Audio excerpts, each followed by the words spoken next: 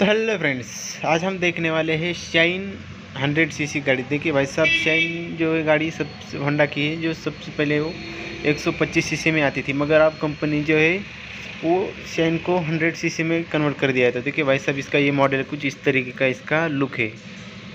Engine में भी बहुत सा बदलाव हो चुका है इसके साइलेंसर बहुत सी सारी चीज़ें इसमें आपको बदले हुए दिखेंगे। और बात करेंगे इसकी माइलेज की तो भाई साहब पहले वाले शाइन 125 सीसी से मुकाबले इसका जो एवरेज है वो कुछ ज़्यादा रहेगा, क्योंकि ये जो है वो स्प्लेंडर के बराबर ही एवरेज देंगे। और बाकी बात करेंगे लुक की तो भाई साहब लुक भी इसका बहुत ही चेंज हो चुका है। देखिए सीट टैंक साइड पैनल ये सारी चीज़ें जो है बदली हुई है। देखिए टायर और बात करेंगे आगे की ब्रेक की तो आगे आपको जो है ड्रम ब्रेक ही मिलेगा। पहले शाइन को जो डिस्क ब्रेक था, अभी इसमें आपको ड्रम ब्रेक ब्रेक ही मिल जाएगा। और होंडा कंपनी वालों ने जो है ये गाड़ी निकाली। आपको ये गाड़ी कैसी लगी?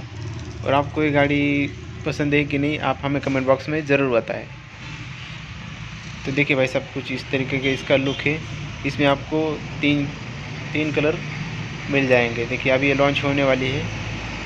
गाड़ी वैसे दिखने में तो बढ़िया दिख रही है, मगर भाई साहब, जो पुराने वाली शाइन 125 सीसी है, वो बहुत ही पिकअप के लिए बढ़िया है।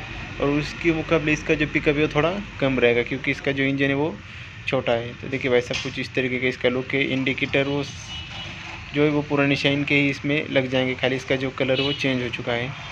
देखिए, पीछे का पीछे का टायर और ये भी बी एस सिक्स है। आपको ये गाड़ी कैसी लगा मैं कमेंट बॉक्स में ज़रूर बताएँ। देखिए भाई साहब, बहुत ही बढ़िया है।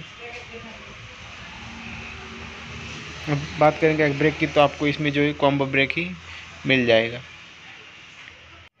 और ये गाड़ी जल्दी ही मार्केट में अभी लॉन्च होने वाली है।